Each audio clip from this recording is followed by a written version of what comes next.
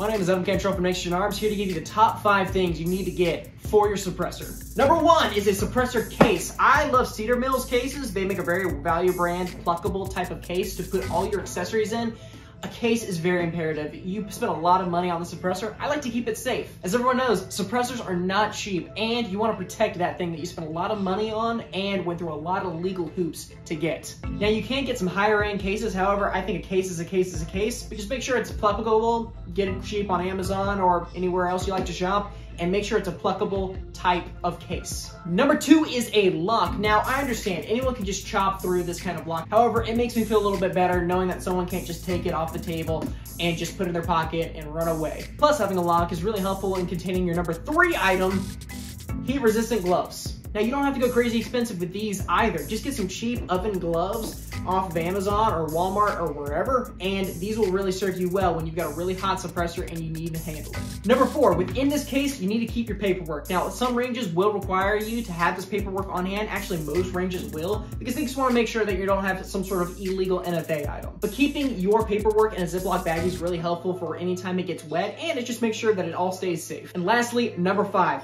all your wrenches and all your doodads. I've got a SilencerCo Hybrid. I love this thing. However, it has a lot of different accessories and different things that you can add on to it. For example, it has different end caps for whenever I change uh, calibers and want it to sound a little bit quieter. It has different adapters for each caliber pistol. I can also change it from their ASR mounts for any sort of rifle to a booster for any sort of pistol. And having the wrenches all on hand for when I'm swapping it out has been very, very helpful as well. Anyways, that was the top five suppressor accessories to have once you actually get your can out of jail. My name is Adam Cantrell Next Gen Arms. Hope you guys have a great day.